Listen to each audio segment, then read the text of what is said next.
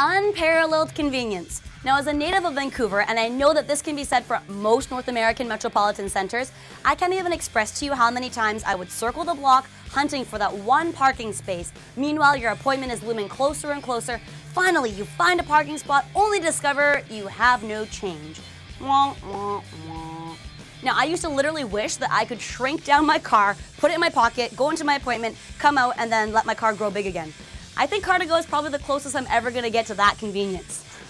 Most of you are completely aware of the stripped down mechanics of an automobile. However, I, on the other hand, am on a path of discovery to that end. And after learning last week about the 2011 Hyundai Sonata and its four cylinder engine, I figured now was high time that I learned more about the magic of the block. Here's Mathieu St-Pierre with more. Now, Matt, I love this engine. It's bright and shiny and pretty. But I'm well aware that this is not normally how engines look. When I get in my car and I put my foot on the gas pedal, I have no idea what's going on underneath the hood. But I do want to know. Okay. I'm ready. Okay, well first you need three things to get your engine to run. Air, fuel, and spark. Pressing the gas pedal, what that'll do, it will open up your throttle plate. Okay. Okay? This will allow the air to circulate into the intake manifold. Okay. Which will send the air into the combustion chamber. Okay. Part one.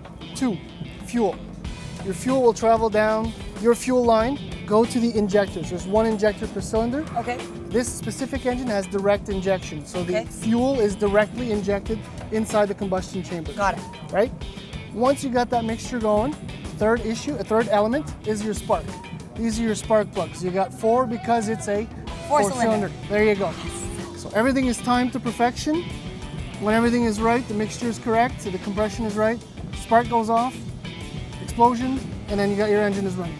This is your starter motor. Right. Needs a lot of energy. Right. This is right. This is the critical thing that'll consume a lot of electricity. If your battery is dead, it's just not going to happen. And that's how you start the engine. After that, you've got this is going up and down. Yep. The crankshaft is spinning. Yep. What what else is going on? The burnt gases, if you will, come The out waste. the exhaust manifold, the waste, and then makes its way to your catalytic converter and then out the tailpipe eventually. Got it. What's this over here? This in this case a very fancy gold chain.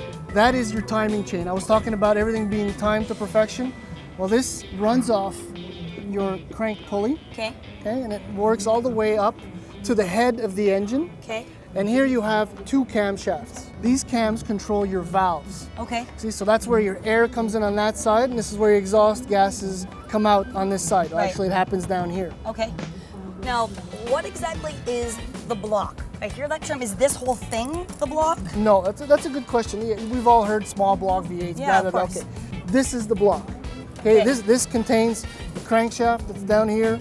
You have your connecting rods, the pistons, the block. On the top part I mentioned just before, the overhead cams.